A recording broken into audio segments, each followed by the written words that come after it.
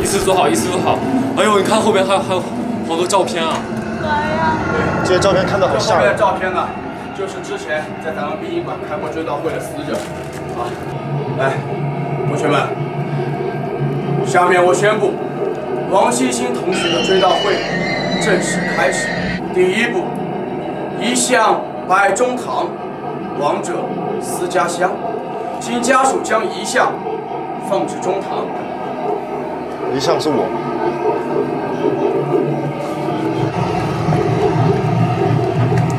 请家属将鲜花放置水晶棺上，并鞠躬回座。请远道而来的朋友上前为他鞠躬，鞠躬。好，回座。哪里来的尖叫声？下面进行仪式的第三步，给王欣欣同学的致悼词，请所有同学保持安静。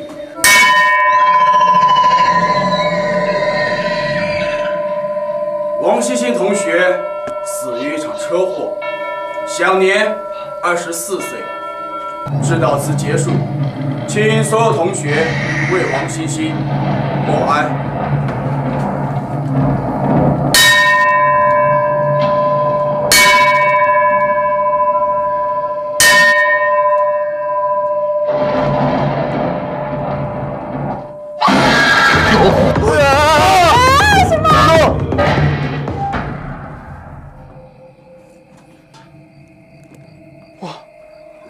什么东西在动、结束了吗？结束了吗？什么东西在动啊？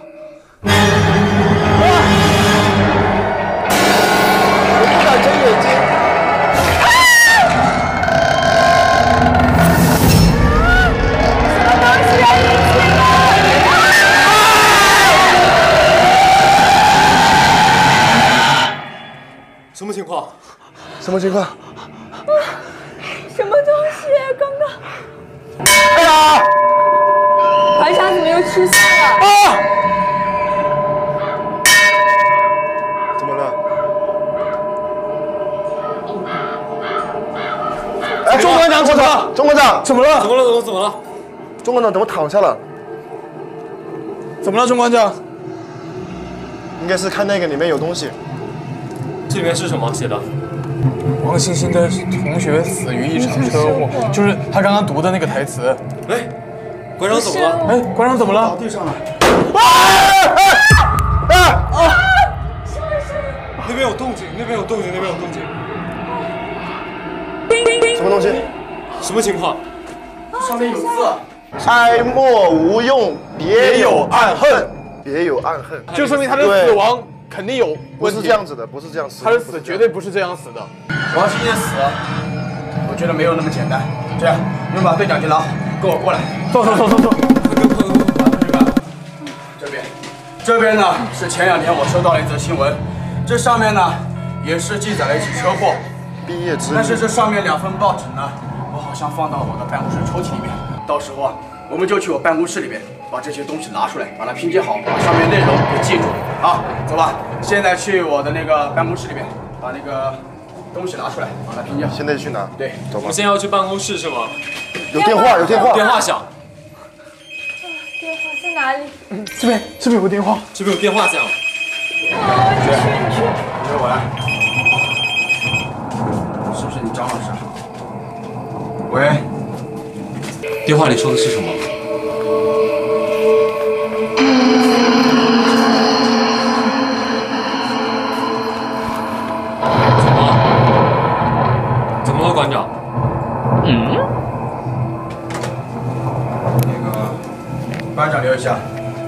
同学都在外面等我。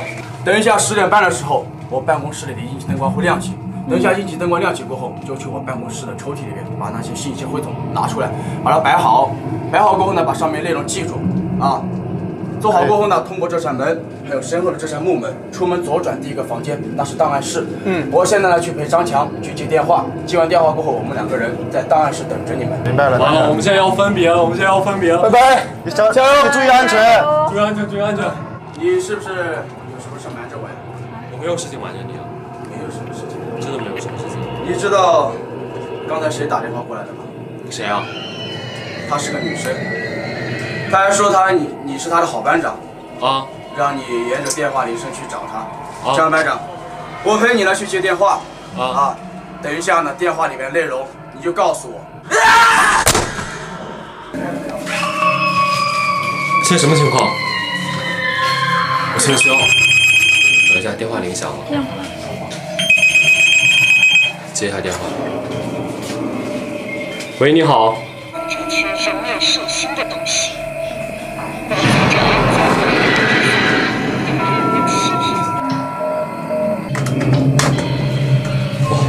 我现在就要去接另外一些电话。我们现在要往去接电话铃。哎呦，那远处是什么？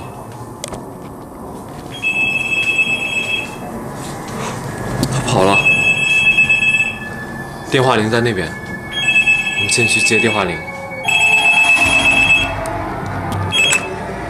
喂，你好。你好，这里青山市公安局档案处。关于您咨询的王星星车祸死亡原因一事，我方向您提供如下信息：王星星一行六人自驾前往青山市郊区蜜月旅行，在山谷中发生意外，汽车坠入悬崖，王星星重伤昏迷，其他五人均受到不同程度的轻伤。我们现在去接另外一个电话。哇，遗体专用通道。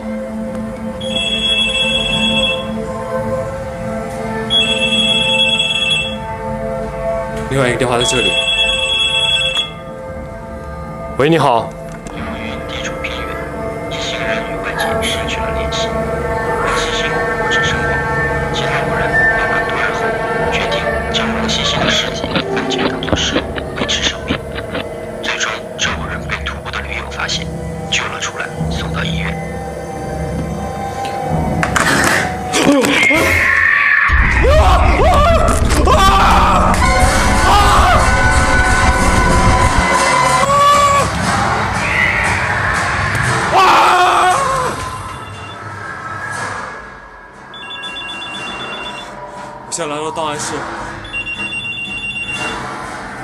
这边还有一个最后一个电话，听一下他说的是什么。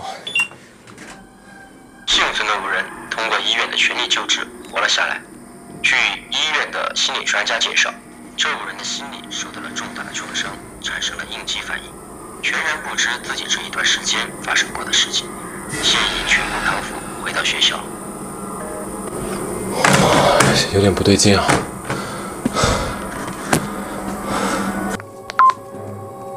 让范慧琳独自一人前往院子神像处祭拜。范慧琳是吗？是的，没问题，没问题。收到，收到，收到。我走了，拜拜。保佑我。